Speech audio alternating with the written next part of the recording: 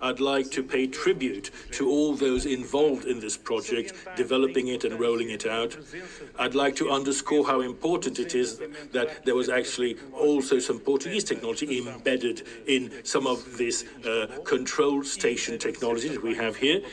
And I'd also like to pay tribute to uh, our Brazilian friends for their critical input at many stages. And I'd like to again uh, congratulate all involved, President investors, and so on. And without further ado, I'd like to give the floor to my colleague, who is the Minister for Science, Technology and Innovation, the Republic of Brazil. Marcos Pontes, you have the floor.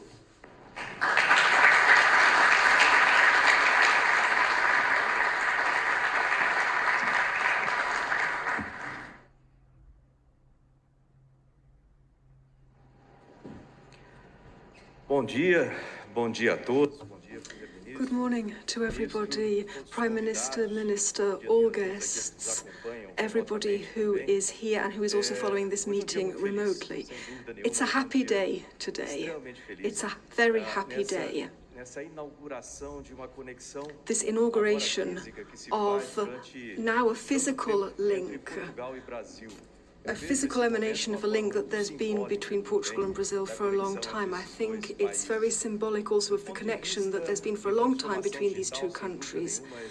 Obviously, when it comes to the digital transition, this is something that is enormously important for the whole world. We are directly linked, Europe and Latin America, through Portugal and Brazil.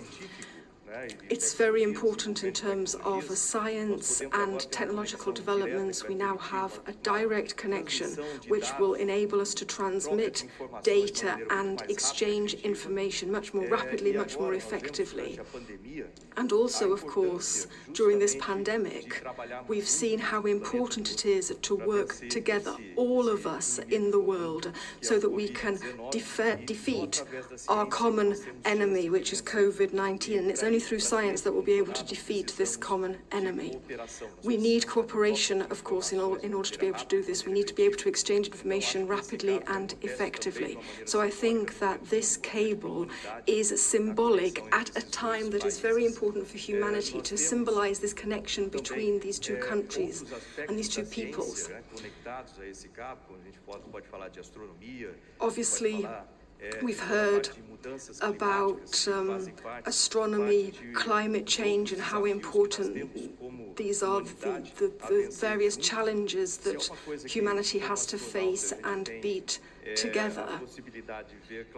If you're an astronaut, then you can look at our planet uh, from a spaceship and see how much we in the world share, how much we share, and all of the challenges that we have to face, part of which is climate change, of course, which affects many other things, food production, the quality of life of people throughout the world.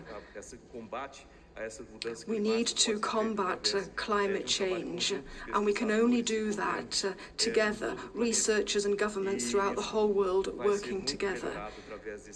And I think that this cable will improve our efforts in this area. Another thing is uh, business, connection between Brazil, between Mercosur and the European Union. I think that this really is uh, an excellent opportunity to improve cooperation also amongst OECD countries.